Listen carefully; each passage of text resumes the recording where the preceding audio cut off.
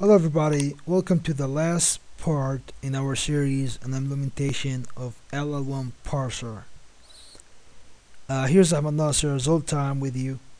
And uh, before we get started don't forget to subscribe the channel. Support us with our with your subscription.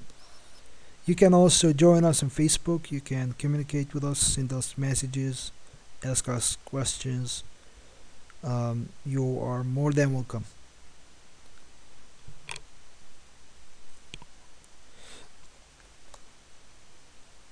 okay guys um, so let's begin with the code here. Actually it's not uh, it's an easy program uh, with a one method actually one centralized method that run the entire program. Uh, first thing we have the grammar rule and the production table the, the parsing table that we have developed uh, we have been developing in the um, you know previous tutorials. Um, so this is the LL1 parser this is the input. First we initially the input of you know index of input is minus one the stack. We got the table with the entire production. For example here we had got a because in the table we got f give us a. So we take just the right side. We got have a here and so forth for the entire elements in the table. We have non-terminals we have terminals here. And we have the LL1 parser. Just give it the input from the constructor. So we have the the, the main method here. We just call it input we give, give it the input with ending dollar sign so anything after this the, the the program not gonna read this because the last item is dollar sign so it's gonna stop right? So you should care about this uh, for this program. Uh, we just run the uh, the algorithm and uh, we just started with the algorithm. So here's the algorithm that we have. We just push the the character and push the, the, the you know push the first character so in this case we have a so we're gonna push a first. And uh, where's the algorithm? Let me just find okay. We push G and uh, we just started with reading the token so in order to read the token you just need to take this input and read the read it character by character and advance the input index. So we have index uh, or index of input so when you read I mean you need to advance the uh, we you know if you are the first place you need to move to the second place when you read. So this is pretty much for the method read.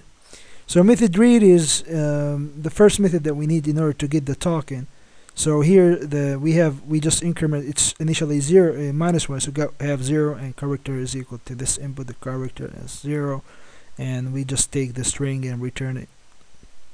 Take the value of, of this character and return it so we're gonna have the first token so this is the first thing you need to know.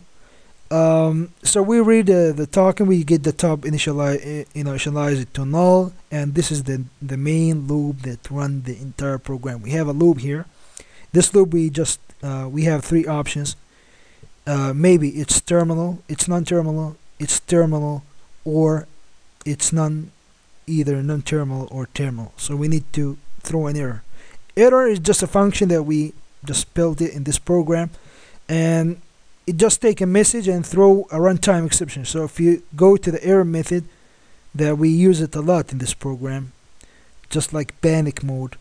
So we just give it a string and we just throw a new runtime exception after printing on the line the message. So basically we just move back to the algorithm. Um, wait a minute so algorithm here we just started with a do while loop. Here we have do while it's true it's infinite loop but we gonna break it only if we got dollar sign. So if we got dollar sign we're gonna break this loop right? We're gonna break it. So we're gonna um, move across the entire input. And we're gonna do comparison with a you know according to non-terminal or terminal we're gonna do something different. So so if we got the dollar sign, we're gonna break this loop. But basically, all the time we need to get the top of the stack, and we need to see if it's if this top is non-terminal. So non-terminal, just take the top. Just you know, just want to check the top. Is it is it non-terminal? If it's terminal, you need you need just to take the top and the token. The top here is the non-terminal, right? If and the token is the input, the terminal. So we take this terminal and non-terminal uh, we need to take the index of this non-terminal and terminal in order to go to the table.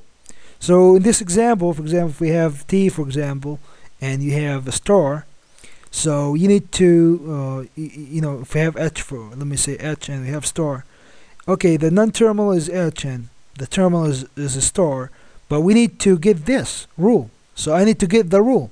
In order to get the rule, you need to know what is the index of h and what is the index of star in order to return this rule. So this is pretty much for the non-terminal. Uh, I need to um, to to get the rule. So I just get the rule by knowing the, the, the what is the token and what is the index from the table and I just get this rule and push it push it into the stack so we have a method called uh, push rule. Push rule is you know just want to take this entire input and move across uh, you know from from the last to the beginning from beginning to the last. You know don't worry about that but I prefer to from the reverse way to take it and to just you know to take a character by character and push it into the to the stack. So we're gonna push it to the top of the stack so okay I didn't talk yet about what how to implement uh, to get the index but I'm talking generally about the algorithm. So this is for the non-terminal. For the terminal you need to um, to take the top. If it's terminal and it's not equal to top you want to throw an error.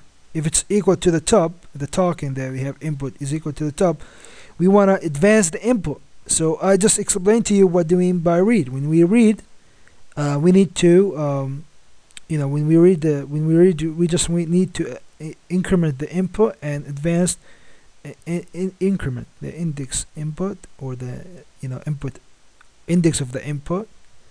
So we were at uh, 0 we're gonna be at 1 so forth. And we need to do pop. But since we do this pop operation in, in every array here so uh, wh wh where is the do here we do it everywhere so we don't need to repeat it again because we already use this here. Okay so we pop and advance the input. Okay um, okay we continue. Uh, if the token is equal to dollar sign we're gonna break right? So uh, for the the code we have three methods here the you know the the pop and the push and the uh, the push rule we see we see the read we see the is terminal and uh, is non-terminal we need to look at, at these two methods. Basically is terminal just gonna take the string and compare it with the non-terminal if it's in, in in that array of non-terminal we're gonna return true. If, if it's not we're gonna return false. And the same thing for uh, the the terminal we're gonna do the same thing. Uh, but we sometimes we need to uh, you know we need to um, just to to to to, to test uh, to get the index as I said when, when we need to go to the table we need to get the row and the column. So you need to get the index of the star and the index of h. So you need to pass the h here and the the the, the h here and the the s the start here. And to in order to get the index in order to get the the rule and return it here so if this rule is equal to nothing I mean we don't have such a thing here. We're just gonna say we don't have this rule. And if you know if it's success we're gonna return the rule. If not gonna return null. And this is how you get the in, the index. You just um, return i in here. If it's not you get a return minus one and so forth here. So this is pretty much for this algorithm guys. Um, I will put the code in in, in, um, in github. You can get your copy there and you know okay I'll put I'll put put it also in the description. So this is the first thing I want to show you about this grammar. You can change this grammar to other thing. I just modify the grammar to other one and you can see it here. Uh, so this and we have other example here. You can run it. So it's completely work uh, with the different production rules and different table here. And we, you know we just got different things okay guys so before I finish the story don't forget to subscribe all time Ahmad Naser with you and uh, see you in another video thank you guys and you can send me messages through Facebook, uh, my email, or through Google Plus, anything you want.